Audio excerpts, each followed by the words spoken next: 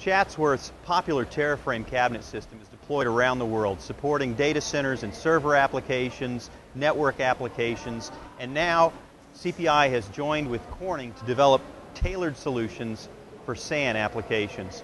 Working with Corning, we now have application-specific cable harnesses supporting each line card.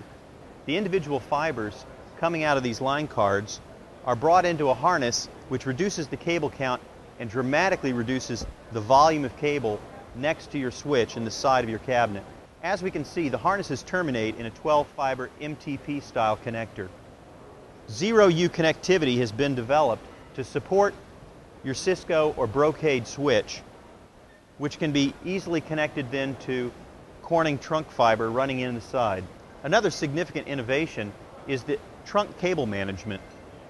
The trunk cable manager houses the trunk cabling routed up into the cabinet, but as it arcs over into the horizontal, we've provided points for strain relief to hold the trunk cable secure just before the trunk reaches the furcation plugs. At this point, the furcation plugs are anchored to the vertical furcation bracket, arranging them so that the fibers can easily and gracefully be routed to the back of the zero U connectivity.